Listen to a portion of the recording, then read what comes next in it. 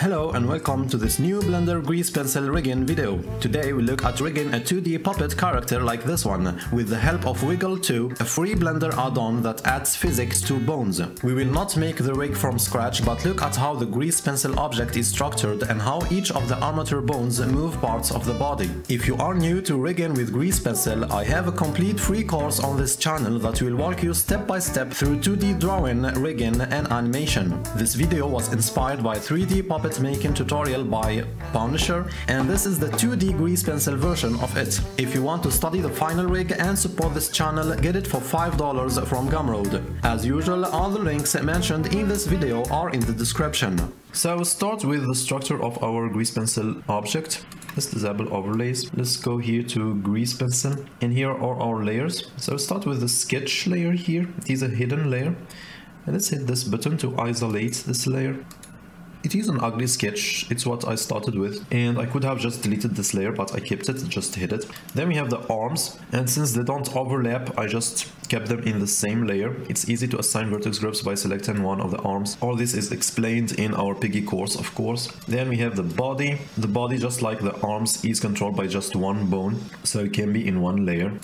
Then we have the ears and they are in their own layer because they will be animated to create an illusion of 3D. So for example, when the face goes left, the left of the character, the ears will go right. So then we have the head and it's the first layer that has an interpolation. We can see it. We need to go under the modifiers panel here and disable the time offset modifier. So now we can see that it's just the chin that goes bigger. Very simple interpolation. Then we have the face. So the face includes these guys here that will go up when the mouth opens and go left and right also. Then we have the mouth. It has also an interpolation. It has just one line here and then it has this shape in the second frame and then the same shape made bigger here and we created, I created an interpolation in between. I'll tell you how I did it in a moment. Then we have the beard you need to make space for the mouth when it goes bigger and that's why we need an interpolation for the beard and lastly we have the hair layer. You see that unlike the other layers that have interpolations of 24 frames, here we have 48 frames and that is because it's like two interpolations in one. So we have the rest position here and then we have an interpolation for the hair going right, the right of the character and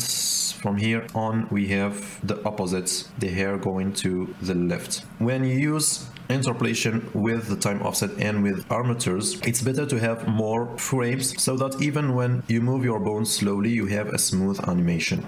So let's unhide all the layers except the sketch layer, of course. One difference also with the Piggy character is the materials. So in our Piggy, we used only a stroke material and a fill material. But here, most of the shapes use this stroke and fill material. So if I hide the stroke, you see that it's used only by the nose and the mouth here. And the fill is used by the cheeks, the irises and the hair and all the rest is using this material. So I first drew all the character using the stroke material and then I assigned the stroke and fill material to the shapes that I wanted. So if we go to edit mode, let's enable overlays and you select one point from here, for example, you go to stroke, you hit assign, you can assign a new material to a stroke and you can do the opposite too. For the colors, if you draw directly with your stroke and fill material, let's go to draw mode, you can enable color attributes here and here there is a setting to choose the mode. If you choose only um, fill here the stroke will keep its color and the fill color will be changed. So here we have this. And if you only draw this shape here and want to change color you can go to vertex paint mode and enable selection here either this one or this one and then alt select here choose a color of course here maybe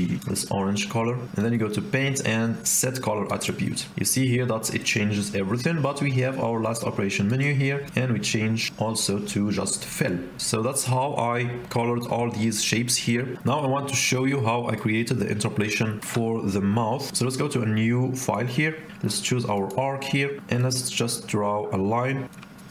Nice. Now E to extrude. Now we do, I think, middle mouse button. Then we go to edit mode and we select everything and we do F to fill the shape here. Then we can select so it should be in the lines layer. We can select it and move it or duplicate it, Shift T. And we can go here to this new frame and go to sculpt mode and start sculpting. So F, make the brush bigger and start here. And you see it's not easy, especially near the corner to take the sky and make the mouth bigger. And then we need to smooth this is the method that we used in our Piggy course, but we didn't have a case of a corner like this. So here, instead of sculpting, it's better to go to edit mode and use curve editing instead. So let's delete these frames again.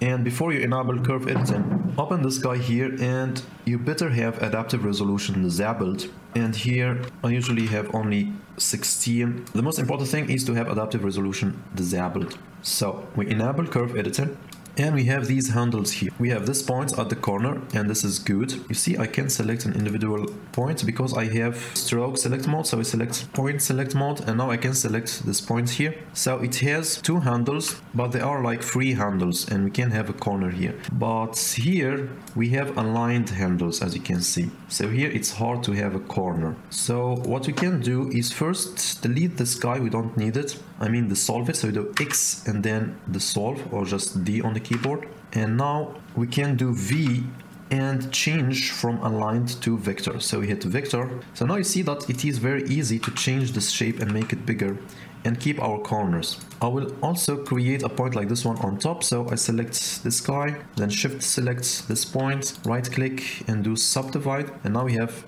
a point on top, a point in the bottom and these guys here. Let's try to make the shape look better. Make sure that these ones are in the center and that their handles have similar lengths and then in the corners also try to have some symmetry between this one and this one. Doesn't have to be perfect of course. Then we go to frame 24. Let's zoom in here, shift T and now we have a new frame with the same handles in the same place and we can make the mouth bigger.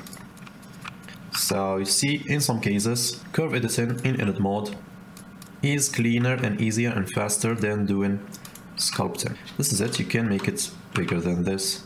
And now we can disable curve editing. And we have these points here, so A to select everything. And since adaptive resolution is disabled, we keep the same points and we don't have new points when we move our handles. So here we just do Control Shift E interpolates and we have this beautiful interpolation. Now about these highlights here, it's just the rim effect here and the uh, visual effects. So we have some offset and we have some blur here and it is of course only visible on render view here.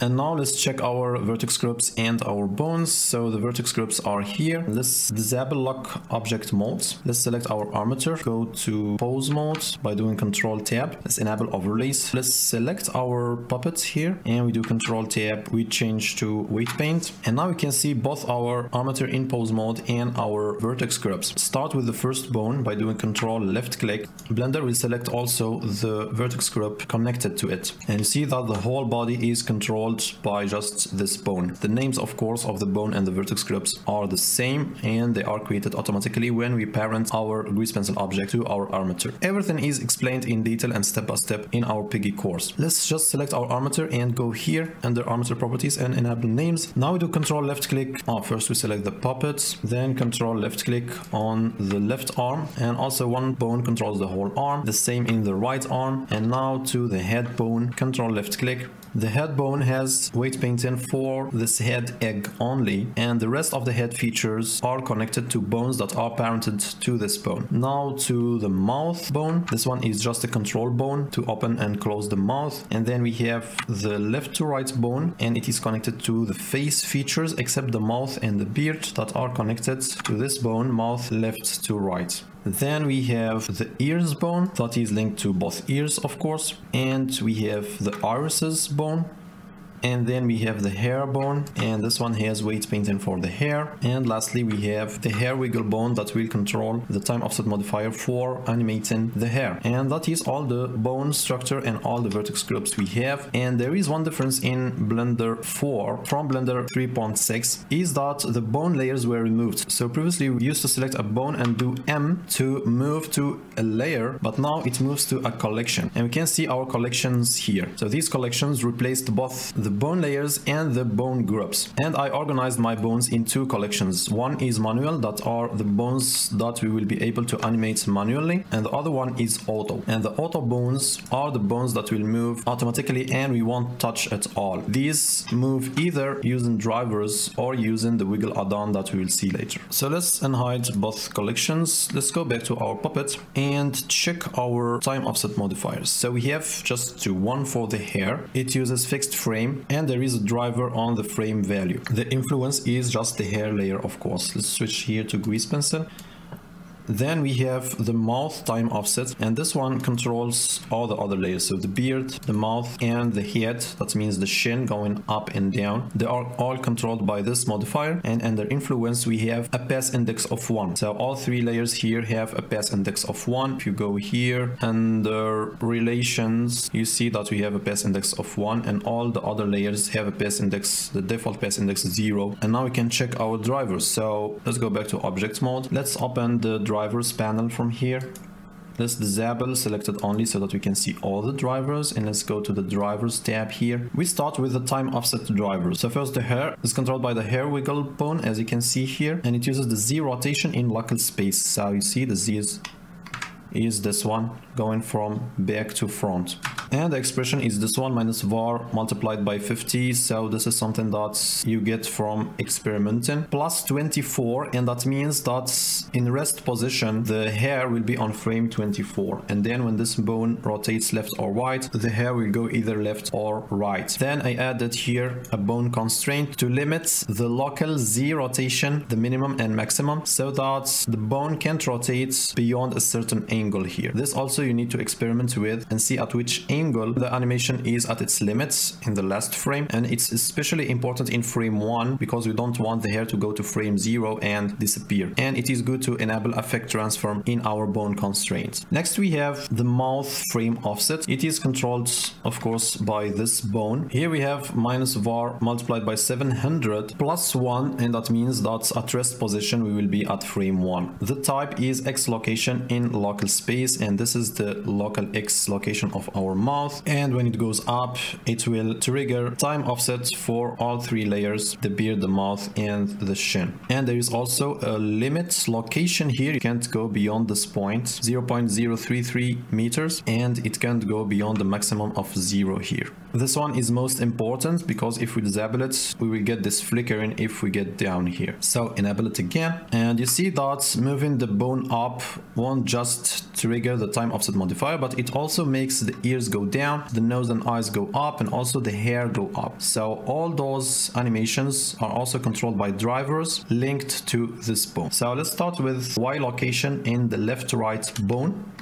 This bone has two types of animation. One is manual, that is the local X location. So if we do G, we can move the head left and right, but we can't move it up and down because the Y location is controlled by this bone. The mouth bone and the type is the same X location, the local X location of this bone. And here we have minus var divided by 8. So if we have only minus var here and we get this bone up, the nose and eyes move too fast. This is also you need to experiment and see what works best for you. So the driver here here is in the y-axis. If we do n, here's our driver here. Adding drivers is also explained in detail in our Piggy course. We have a driver for the hair bone, so this one, and it's also controlled by the mouth bone in X location local space, and this time it's minus var divided by 12. Then we have the ears, so this is our ears bone. This time this driver is controlled by this one, the left right bone. The type is X location, as you can see here, the local X location. When this bone moves, the ears go in the the opposite direction as you can see. And then we have another driver for our ears bone so one on the x and one on the y. The second driver is this one on its local y axis. And again it's controlled by our mouth bone. And that's how this bone will control the ears bone will control the left right bone. Will control the hair bone. And will also control the time offset modifier to have this animation And then lastly, we have this bone. As we saw, it is linked to the beard and mouth vertex group, and it is responsible for making them go right and left. For this one, we didn't add a driver. We just added a copy location constraint to copy the location of this guy just on the local x-axis. When this bone moves on the x-axis, this bone will copy its location and do the same. And you see that it only copies the x location and not the y location. When this bone goes up, this bone will not go up. And that's why we separated the animation of the eyes and nose from the animation of the mouth and beard because we don't want here the mouth to go up when the nose and eyes go up. That's why we had to separate and have a bone that can get the mouth and beard to go left and right, but not get them up and down. So I guess this is all about our drivers and now to the wiggle add-on. Let's join these areas. I have a link in the description to the add-on and in the add-ons page there are instructions, detailed instructions on how to install it and how to use it. Let's type in here wiggle and you see that we have our wiggle 2 add-on enabled here and when we are in pose mode you can do Get to this animation tab here and you see the settings for our add-on. So the wiggle wiggling we added it to the hair wiggle bone. You see here that we have bone head and bone tail. So the head of the bone is its base and the tail is this one adding or enabling the wiggling on the tail will make the bone rotate automatically when parent bones move in a certain way. So here we have all these settings, stiffness, we have gravity. You see that I disabled it. By default, it's one and I put in zero. And the stiffness, the more or the bigger value here, the less movement the bone will have and the more stiff it will be. So here after experimenting with some animations, I put it at 80. Maybe we can go to the action editor here and enable one of our animations. This one puppet anim test. Play the animation and you see how the bone will react to the body bone rotating left and right. So you see it's very easy and now the animation of this bone is automated and we don't have to do anything else. Next we have the wiggling of the irises. So here I enabled it both for the head and for the tail of this bone. Since it is in the center between these two eyes, so when it rotates one will go up and one will go down and it will give us that nice puppety animation. Let's try it with the other action puppet com. So in this one we don't just have rotation but we have this bone that goes up and down. So you see now that the eyes also don't just rotate, but they go up and down. And you have also to play with the settings. So here we have more stiff bones so that we don't have a very strong rotation and movement that gets the iris out of the eyes. We have wiggling enabled for the arms too. So here only for the bone tail because we don't want the arms to move. We just want them to rotate a little bit. Here also we have gravity as zero. Put it at one, you see how the arm is pulled by gravity. You can also have a value like 0.2 maybe and have a slight gravity pull back to zero. Of course, the same settings are in the other arm. And how about the body? I want to have also some wiggling of the body. So let's enable, I think, bone tail. And I want to have stretch at one. So stretching will make the bone stretch and go taller and shorter. And it should be more visible in this bouncing animation. So let's try it and you see that yes it is stretching up and down. But because of gravity at the end of animation our character is shorter. So change this back to zero and test again. And we have this beautiful springing animation and since all the other bones are parented to this bone the stretching will affect all the other bones. It's also an automatic and beautiful animation with very small effort from us. Just moving this bone up and down will trigger all those animations the irises animation the hair animation the arms that go up and down and wiggle and jiggle. This add-on is really simple to use and very powerful and I think it should be part of Blender. And then here we have these global wiggle utilities and we have this option here to loop physics. This option here is useful for looping animations. If you go here to Puppet Anim Test, we have a looping animation that goes left and right and then does the same again. With loop physics disabled, the physics reset and start all over again and we can see when there is a cut when we enable loop physics, now we can tell when the animation starts and ends. If your animation is not a looping animation like our Puppet Com animation, the loop physics will have a very different effect. So here we have this, it's actually not bad. It's like it's screaming and going back, something is putting it back. It's a very cartoonish effect actually. Let's go back to our puppet base action. Now the last thing I want to talk about is the bone locking. Let's select this guy, let's hit N and go again to item. Just like we did in the piggy course, we lock all the channels that we don't need. You make sure that here under animation we have only insert available. Also it is better to have XYZ order for all the bones and you see here which channels I locked. For the ones that have drivers like this one, we can lock the channel that has the driver and it won't affect the driver. And also these wiggling bones as you can see for this one for example everything is locked but still the wiggle add-on will be able to rotate on the local z axis here. And uh, yeah let's check them all one by one so that you see which channels are locked. And all the bones that we want manually keyframe we add to our auto collection so that we can hide them since we don't use them manually. And we keep only the bones that we will actually animate. And one thing I almost forget is the lip syncing. Either for this guy or these 3D guys, you don't need an expensive VR headset. You just need the trick that we learned in the last part of our Piggy course. You just sync the movement of this single bone to audio. It's all that we need in Puppets because we just have this vertical movement and we don't have any lip shapes to deal with. This is it. If you have any questions or suggestions for future videos, just leave a comment. Get the final rig from Gumroad to support this channel, leave a like, subscribe, see you in another video and peace.